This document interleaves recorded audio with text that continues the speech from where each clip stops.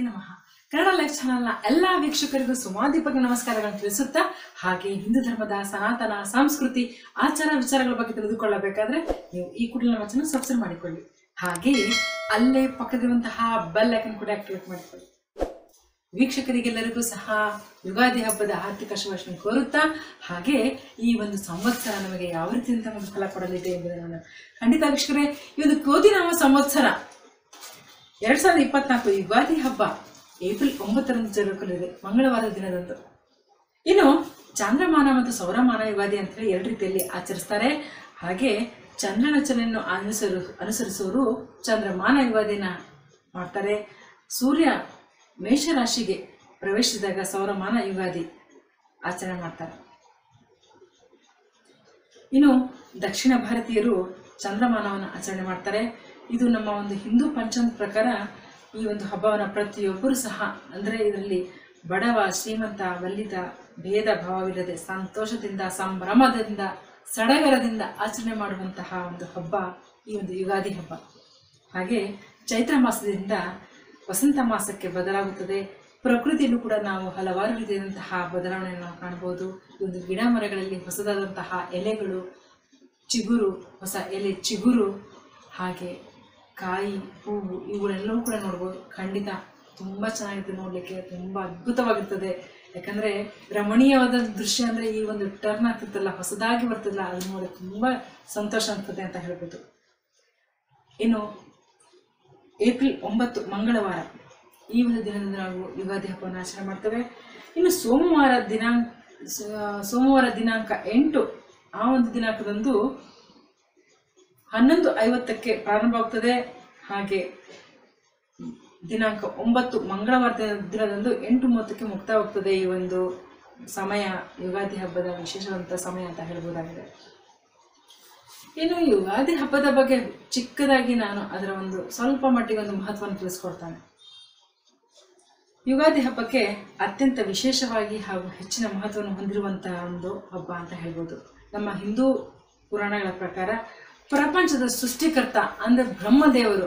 ಆ ಒಂದು ದೇವರು ಬ್ರಹ್ಮದೇವರು ಈ ಒಂದು ಈ ದಿನವನ್ನ ವಿಶ್ವವನ್ನ ಸೃಷ್ಟಿಕರ್ತ ಮಾಡುತ್ತಾನೆ ಸೃಷ್ಟಿ ಸೃಷ್ಟಿಸಿದ್ದಾನೆ ಅಂತ ಹೇಳಲಾಗುತ್ತದೆ. ಹಾಗಾಗಿ ಈ ಒಂದು ಯುಗಾದಿ ವಿಶೇಷವಾಗಿ ಅಂತೇಳಿ ಹೇಳ್ಬೋದು. ಇನ್ನು ಈ ಯುಗ, ಯುಗಾದಿ ಎಂಬ ಪದವು ಎರಡು ಪದಗಳ ಸಂಗಮವಾಗಿದೆ ಅಂತ ಹೇಳ್ಬೋದು. ಯುಗ ಎಂದರೆ ಸಂಸ್ಕೃತದಲ್ಲಿ ಯುಗ, ಮತ್ತು ಆದಿ ಎಂಬ ಪದವು ಕನ್ನಡ ಮತ್ತು ಸಂಸ್ಕೃತ ಪದ, ಸಂಸ್ಕೃತದಲ್ಲಿ ಅದರಿಂದ ಪ್ರಾರಂಭವಾಗಿದೆ ಅಂತ ಹೇಳ್ಬೋದು. ಹಾಗಾಗಿ ನಮ್ಮ ಹಿಂದೂ ಸನಾತನದ ಪ್ರಕಾರ ನಾವು ಹೊಸ ವರ್ಷ ಅಂತ ಹೇಳಿ ನಾವು ಈ ಒಂದು ಹಬ್ಬದಲ್ಲಿ ಆಚರಣೆ ಮಾಡ್ತೇವೆ. ಖಂಡಿತ ನಾವು ಹೊಸ ವರ್ಷ ಅಂತೇಳಿ ಜಾನ್ವರಿ ಫಸ್ಟ್ ನಾವು ಮಾಡೋದಿಲ್ಲ. ನಮ್ಮ ಹಿಂದೂ ಸನಾತನ ಪ್ರಕಾರ ನಾವು ಹೊಸ ವರ್ಷ ಅಂತ ಹೇಳಿ ನಾವು ಒಂದು ಯುಗಾದಿ ಹಬ್ಬದಲ್ಲಿ ನಾವು ಆಚರಣೆ ಮಾಡ್ತೇವೆ. ಇನ್ನು ಈ ಒಂದು ಯುಗಾದಿ ಹಬ್ಬದಲ್ಲಿ ವಿಶೇಷವಾಗಿ ನಾವು ಆ ದಿನದಂದು ಬೇವು ಬೆಲ್ಲವನ್ನು ನೈವೇದ್ಯವಾಗಿ ಇಡುತ್ತೇವೆ. ಇಲ್ಲಿ ಬೇವು ಬೇವು ಕಹಿಯನ್ನು ಸೂಚಿಸುತ್ತದೆ ಹಾಗೆ ಬೆಲ್ಲ ಸಿಹಿಯನ್ನು. ಜೀವನದಲ್ಲಿಯೂ ಸಹ ಹಾಗೆ. ಕೆಲವೊಂದು ಸುಖ, ಕೆಲವೊಂದು ದುಃಖವನ್ನು ಕೊಡುತ್ತದೆ ಹಾಗಾಗಿ ಈ ಒಂದು ಬೇವು ಬೆಲ್ಲದ ಚಿಕ್ಕ ಒಂದು ಮಾಹಿತಿ ಅಂತ ತಿಳಿಸಿದ್ದೇನೆ. ಇನ್ನು ಯುಗಾದಿ ಹಬ್ಬವನ್ನ ದೇಶದಾದ್ಯಂತ ಆಚರಣೆ ಮಾಡ್ತಾರೆ. ಹಾಗಾಗಿ ಹಲವಾರು ಪ್ರಾಂತ್ಯಗಳಲ್ಲಿ ವಿವಿಧ ಬಗೆಯ ಹೆಸರುಗಳಿಂದ ಕೂಡ ಕರೀತಾರೆ. ಅದರಲ್ಲಿ ಕೆಲವೊಂದು ಮಾತ್ರ ನಾನು ತಿಳಿಸ್ತೇನೆ. ಈ ಒಂದು ಯುಗಾದಿ ಹಬ್ಬವನ್ನ ತಮಿಳುನಾಡಿನಲ್ಲಿ ಪುತಾಂಡು ಅಂತ ಕರೀತಾರೆ. ಪಂಜಾಬ್ನಲ್ಲಿ ಬೈಸಾಖಿ ಅಂತ ಕರೀತಾರೆ, ಗುಜರಾತ್ನಲ್ಲಿ ಬೆಸ್ತು ವಾರಸ್ ಅಂತ ಕರೀತಾರೆ, ಕೇರಳದಲ್ಲಿ ವಿಶು ಅಂತ ಕರೀತಾರೆ, ಹಾಗೆ ಮಹಾರಾಷ್ಟ್ರದಲ್ಲಿ ಗುಡಿ ಪಾಡ್ವ ಅಂತ ಕರೀತಾರೆ. ಈ ರೀತಿಯಾಗಿ ವಿಶೇಷವಾಗಿ ತಮ್ಮ ತಮ್ಮದೇ ಆದಂತಹ ಈ ಯುಗಾದಿ ಹಬ್ಬದ ಕೆಲವು ನಾಮಗಳನ್ನು ಅವರು ಆ ಒಂದು ಹೆಸರಲ್ಲಿ ಕರೀತಾರೆ. ಹಾಗೆ ಈ ಒಂದು ನಮ್ಮ ದ್ವಾದಶಿ ರಾಶಿ ಕಟಕ ರಾಶಿ ಯಾವ ರೀತಿಯಾಗಿದೆ? ಈ ಒಂದು ಸಂವತ್ಸರಗಳು ಅಂತ ನೋಡೋಣ. ಈ ಒಂದು ರಾಶಿಗೆ ಅಧಿಪತಿ ಚಂದ್ರ ಆಗಿರ್ತಾನೆ. ಪುನರ್ವಸು ನಾಲ್ಕನೇ ಪಾದ ಆಶ್ಲೇಷ ಪುಷ್ಯಮಿ. ಈ ರೀತಿಯಲ್ಲಿ ಇರುವಂತಹ ನಕ್ಷತ್ರದವರು ಈ ರಾಶಿಗೆ ಸೇರುತ್ತಾರೆ ಅಂತ ಹೇಳ್ಬೋದು. ಇನ್ನು ಆದಾಯ ಮತ್ತು ವ್ಯಯ ನೋಡೋಣ. ಖಂಡಿತ ಈ ಒಂದು ರಾಶಿಯವರಿಗೆ ಆದಾಯ ಹದಿನಾಲ್ಕಿದ್ರೆ ಖರ್ಚು ಕೇವಲ ಎರಡು. ತುಂಬ ಚೆನ್ನಾಗಿದೆ ಅಲ್ವಾ? ಆದಾಯ ಮತ್ತು ವ್ಯಯ ನೋಡಿದ್ರೆ ಗೊತ್ತಾಗ್ಬಿಡುತ್ತೆ. ಖಂಡಿತ ಆದಾಯ ಹದಿನಾಲ್ಕು ಅಂದರೆ ವ್ಯಯ, ಖರ್ಚು ಕೇವಲ ಎರಡು. ಹಾಗೆ ರಾಜಪೂಜೆ ಆರಿದ್ರೆ ಅವಮಾನ ಕೂಡ ಆರಿದೆ.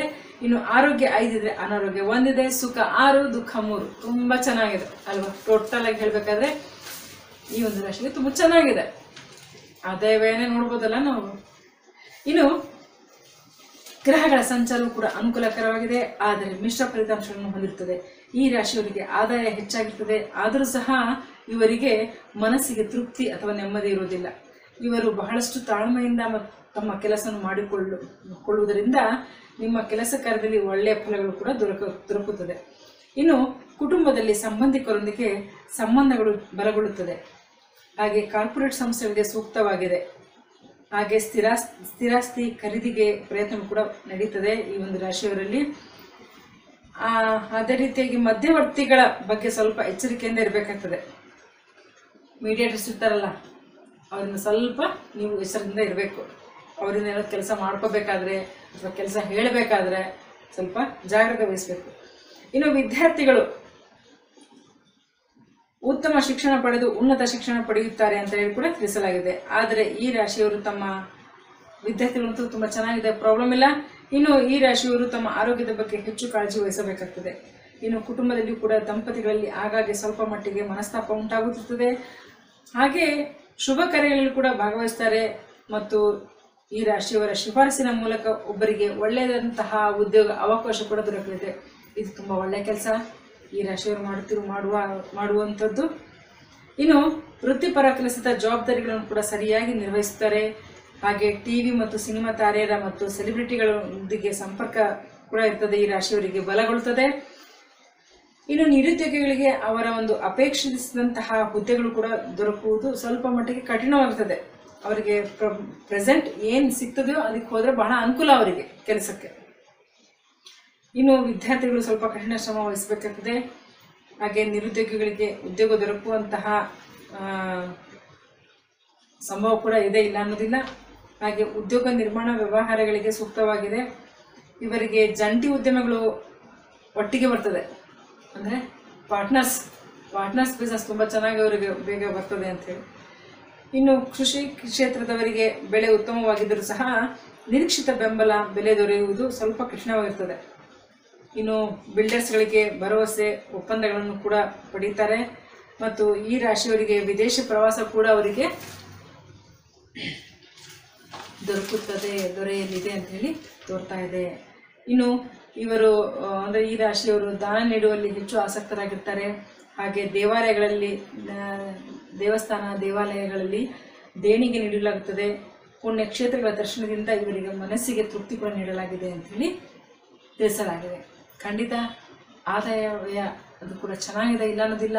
ಆದರೆ ಸ್ವಲ್ಪ ಮಟ್ಟಿಗೆ ಇವರು ನೆಮ್ಮದಿ ಅವ್ರಿಗೆ ಕಾಣೋದಿಲ್ಲ. ಆದರೆ ಇವರು ಈ ರೀತಿಯಾಗಿ ದೇವರ ದರ್ಶನ ಪಡಿತಾ ಇದ್ರೆ, ಹಾಗೆ ದಾನ ಧರ್ಮ ಮಾಡ್ತಾ ಇದ್ರೆ ಖಂಡಿತ ಅವ್ರಿಗೆ ಒಳ್ಳೇದಾಗ್ತದೆ ಅಂತ ಹೇಳ್ತಾ, ಇನ್ನು ಈ ರಾಶಿಯವರಿಗೆ ಯಾವುದೇ ಒಂದು ಚಿಕ್ಕ ಪುಟ್ಟ ಸಮಸ್ಯೆ ಇರುವುದಕ್ಕೆ ನಾನು ಪರಿಹಾರ ಕೊಟ್ಟು ತಿಳಿಸ್ತೇನೆ. ಚಿಕ್ಕದಂತಹ ಪರಿಹಾರ ಅಂತಂದರೆ, ಈ ರಾಶಿಯವರು ಶಿವನ ಆರಾಧನೆ ಮತ್ತು ಹನುಮಾನ್ ಚಾಲಿಸ ಪಠಣ ಮಾಡೋದ್ರಿಂದ ಖಂಡಿತ ಅವರಲ್ಲಿ ಕಾಡುತ್ತಿರುವಂತಹ ಸಮಸ್ಯೆ ನಿವಾರಣೆ ಆಗ್ತದೆ ಅಂತ ಹೇಳುತ್ತಾ, ಹೀಗೆ ಇನ್ನು ಅನೇಕ ವಿಚಾರ ತಿಳಿದುಕೊಳ್ಳಬೇಕಾದ್ರೆ ನೀವು ನಮ್ಮ ಚಾನಲ್ ಸಬ್ಸ್ಕ್ರೈಬ್ ಮಾಡಿಕೊಳ್ಳಿ, ಹಾಗೆ ಅಲ್ಲೇ ಪಕ್ಕದಲ್ಲಿರುವಂತಹ ಬೆಲ್ ಕೂಡ ಆಕ್ಟಿವೇಟ್ ಮಾಡಿಕೊಳ್ಳಿ. ಎಲ್ಲರಿಗೂ ಒಳ್ಳೆಯದಾಗಲಿ. ಧನ್ಯವಾದಗಳು.